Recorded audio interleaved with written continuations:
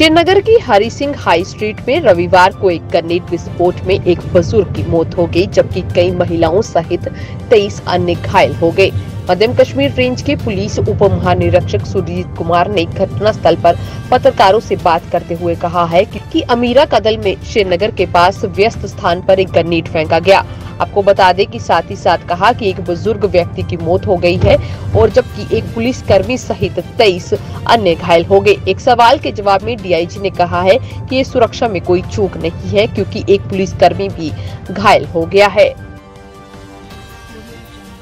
सांबा के विजयपुर में PDP party के द्वारा एक मासिक बैठक की गई। आपको बता दें कि इसमें जिला प्रधान हरमेश सिंह सलाथिया ने जो है इसकी देखरेख की और इस दौरान लोगों ने अपनी समस्याओं को जिला प्रधान के समक्ष रखा। साथ ही साथ उन्होंने समस्याओं को हल करने के लिए उन्हें पूर्ण रूप से आश्वस्त किया है। साथ ही साथ वहीं उन्होंने कहा कि 22 मार्च को विजयपुर में होने वाली रैली को कामयाब करने, किया जाए।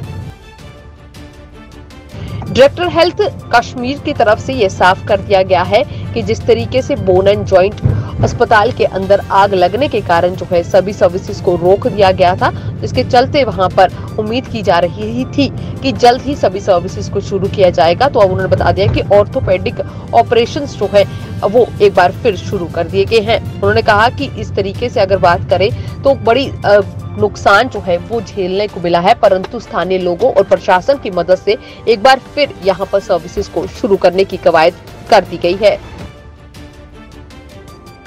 कश्मीर में 15 साल बाद आतंकियों के पास तरल रासायनिक विस्फोटक पहुँचने की आशंका है। पिछले दिनों अंतर्राष्ट्रीय सीमा के अर्निया सेक्टर में मिले इस रासायनिक विस्फोट के तीन बोतलों को जाँच के लिए प्रयोगशाला भेज दिया गया है। जम्मू कश्मीर पुलिस के महानिदेशक दिलबाग सिंह ने पत्रकार वार्ता में कुछ रासायनिक विस्फोटों की बरामदगी और उसे फोरेंसिक प्रयोगशाला में भेजने की बात कही है। सेना की चिनार कोर के commander lieutenant general DP Pandey ने कहा है कि कश्मीर में हालात प्रत्येक मानक के आधार पर पहले से कहीं ज़्यादा शांत एवं सामान्य है।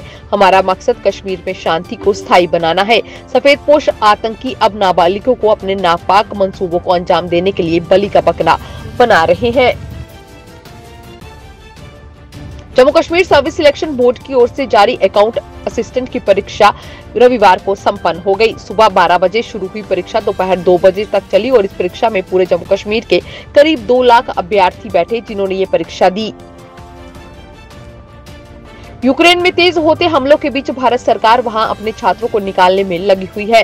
भारतीय छात्रों की निकासी को लेकर सरकार द्वारा ऑपरेशन गंगा चलाया जा रहा है।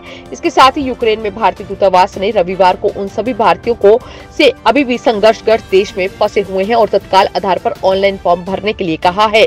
दूतावास ने अपने ट्वीट में कहा है की सभी भारतीय नागरिक जो अभी भी यूक्रेन में रह रहे हैं, उनसे अनुरोध है की वे संकलन गूगल फॉर्म में निहत विवरण तत्काल आधार पर भरें। भारत के केंद्रीय औषधि प्राधिकरण की विशेषज्ञों की एक टीम ने सीरम इंस्टीट्यूट द्वारा बनाई गई कोरोना वैक्सीन कोवैक्स के तीसरे चरण के क्लिनिकल ट्रायल के वैक्सकों को बूस्टर डोज के रूप में लगाने की अनुमति देने की सिफारिश की है। रविवार को आधिकारिक सूत्रों के द्वारा ये जानकारी साझा की गई। हंगरी की राजधानी